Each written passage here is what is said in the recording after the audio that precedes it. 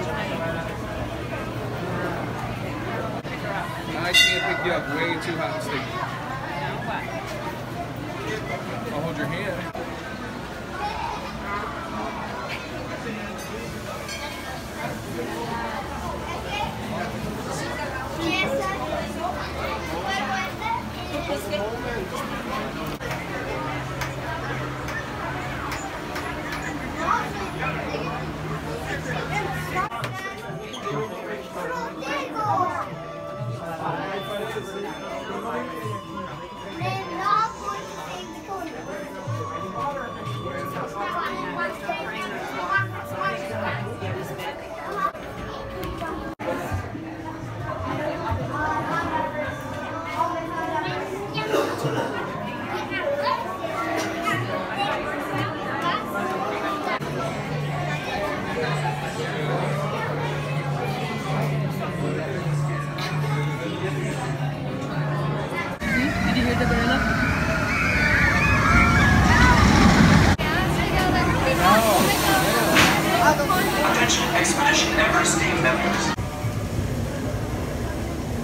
I don't know if they're doing the.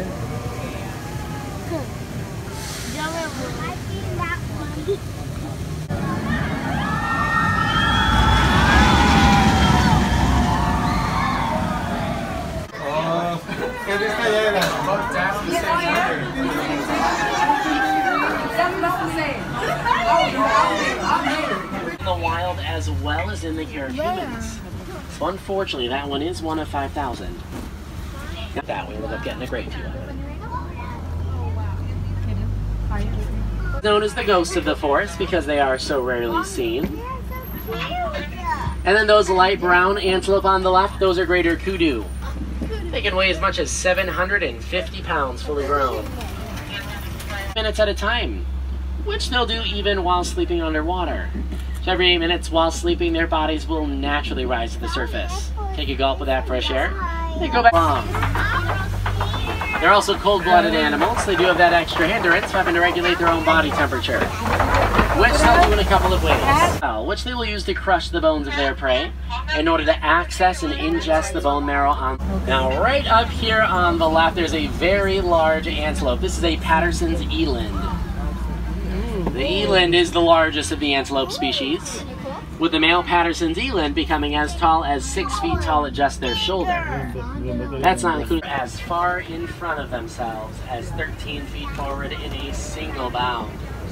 They're very talented jumpers as well. They get to be that cute and adorable their entire lives. Yeah, here, just remember because they are so very tall. They will reach heights of 18 to 20 feet tall. And even a newborn giraffe is born about 6 feet tall, so it is likely that a newborn giraffe is still taller than most of the people in the truck right now. They also only sleep for about 30 minutes a day. They'll do so either standing up or sitting down.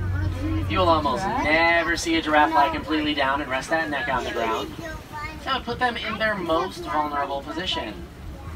They'd be giving up that vantage point that their very long necks provide them with. They also very high blood pressure. Makes sense when you look at them as they do have to pump blood vertically up those long necks of theirs. Fortunately for them, they also have very large hearts. And a giraffe heart can weigh as much as 25 pounds all by itself. African elephant because we are in Africa. But in case you ever forget what continent you're on, you can always look at those ears that they have as well.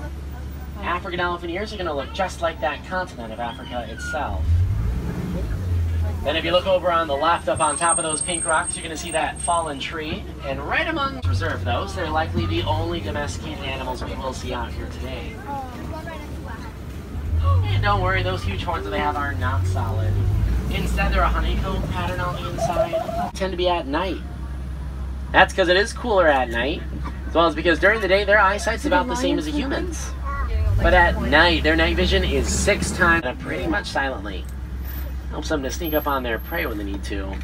Now over on the right, you are going to see those furry brown animals. Those are water buck. We'll get to them in a moment, but also if you look all the way pretty much as far as you can go to the right, you're going to see a couple of legs sticking out of the bushes. Them to find and locate one another as they can recognize that scent from far away. You're also going to see that white Oh, rhino God, God, God. turned around coming this way, in case you didn't believe me. Had to look. And down on the right, you're also going to see those ostrich eggs. You can tell that they're ostrich eggs because of how large they are. The ostrich egg is the largest of the bird eggs.